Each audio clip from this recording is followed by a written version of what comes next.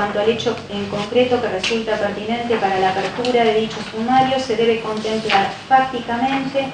que respecto del juez de instrucción a cargo de la investigación del denominado caso Atahualpa, se observa un accionar alejado de su deber de dirigir el proceso penal, apartándose de su rol de, investigador,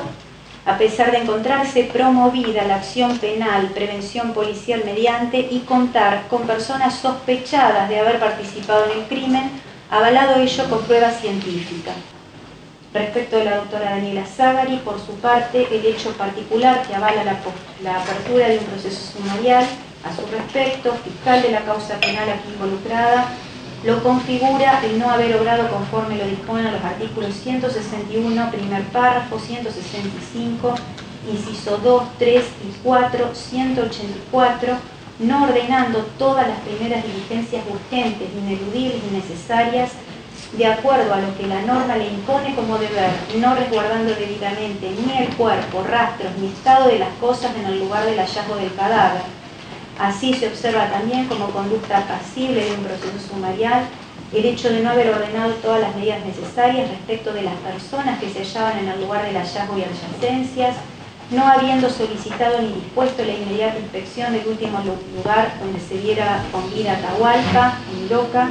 y no habiendo insistido en la necesidad de llevarla a cabo, sometiendo la investigación a la posible pérdida de datos fundamentales para la misma. Así también se advierte que la misma no ha propuesto diligencias relevantes a los fines del esclarecimiento del delito, posponiendo por más de tres años de manera totalmente injustificada el cotejo de ADN compatible con el perfil genético de Atahualpa hallado en la cantera secuestrada en la casa de Felipe Carrasco y el ADN de al menos los ocupantes de eh, la citada vivienda. Respecto del doctor Falca, en cuanto a la conducta que se le reprocha, la constituye el hecho de no haber solicitado ni dispuesto la inmediata inspección del último lugar donde se viera con vida Atahualpa, derivando ello en la pérdida de datos que pudieran haber sido determinantes para el devenir de la investigación. Son Daniela Zagari y Juan Carlos Reusi, pero también lo novedoso y lo que la verdad lo vemos como un logro es que también se ha llamado la atención sobre ese pedido sumario para Ricardo Falca, que actualmente está jubilado y que Liliana Piccinini el año pasado, cuando era ella presidenta del Consejo de la Magistratura, yo le pregunté por él puntualmente y a ella me respondió que, que no se podía juzgar porque ya estaba retirado de sus funciones. ¿Cómo, ¿Cómo, se van hoy? ¿Qué, ¿Con qué sensaciones se van aquí del Consejo de la Magistratura?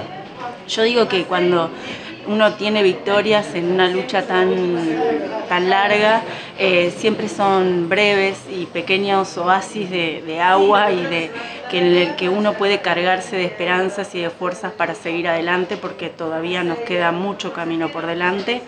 Eh, sin embargo, es ejemplificador creo para, para otras luchas y para otras familias que necesitan saber la verdad y la justicia, este, tener un consejo de la magistratura que haya determinado estos sumarios para estos, para estos funcionarios. ¿En qué creen que van a terminar esos sumarios? Nosotros vamos a hacer mucha fuerza para que ninguno de ellos pueda volver a ejercer sus funciones dentro del Poder Judicial. Nos han dejado a Atahualpa sangrando durante nueve años. Nosotros todavía no hemos podido enterrar y en muchas, eh, mucha responsabilidad de eso tienen estos funcionarios, Zagari, Reusi y Falca. Y también nosotros sentimos, recién lo mencionábamos, que en aquel momento siendo la, la jefa de los fiscales, Liliana Piccinini, eh, a cargo de la Procuración General en ese momento, también nosotros vamos a evaluar, digamos, impulsar alguna medida respecto, o sea, que sea investigada también su responsabilidad, porque no estamos hablando de un solo fiscal, estamos hablando de dos fiscales que están siendo sumariados hoy. Así que para nosotros eh, lo que queda es seguir eh, peleando y, esperar que, que ninguno de ellos vuelva a pisar el Poder Judicial.